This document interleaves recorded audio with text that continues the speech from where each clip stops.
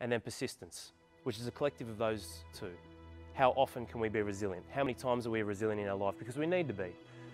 You don't need to be 80 years old to realise that there's going to be some fucking hard shit that hits our lives, irrespective of how you choose to see it. That's reality. It hits us all.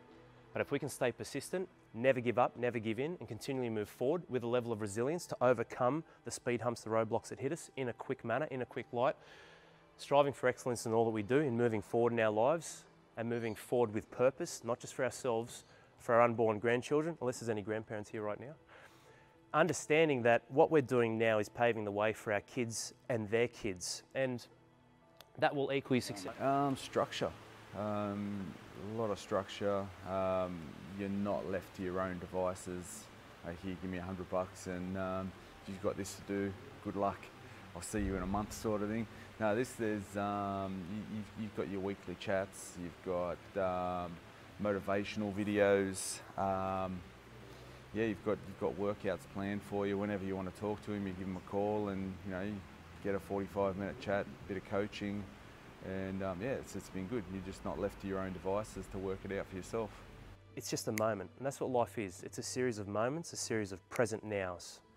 And what we do in this present now can take us into the next present moment and future present moments in the direction where we want to enjoy that. And yeah, it'll be tough times. We want to have a level of fulfillment and happiness and love in those moments, not just for ourselves, but for our children.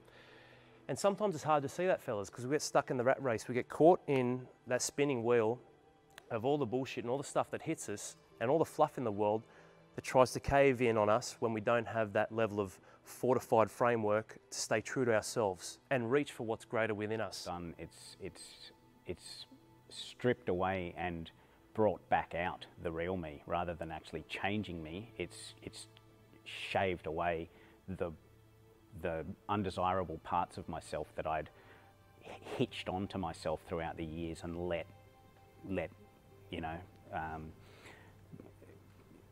hang around on my back, I guess, you know, like, so it's been really good. Yeah, it's great. It's great. My kids see it. You know, my kids see what I'm doing. They're proud of me. They see the the, um, the determination I've got and that the, um, the the you know the way it's it, it's benefiting me. And yeah, it's, it's fantastic. I've, I've more energy at home. I'm um, um, yeah a better example for them.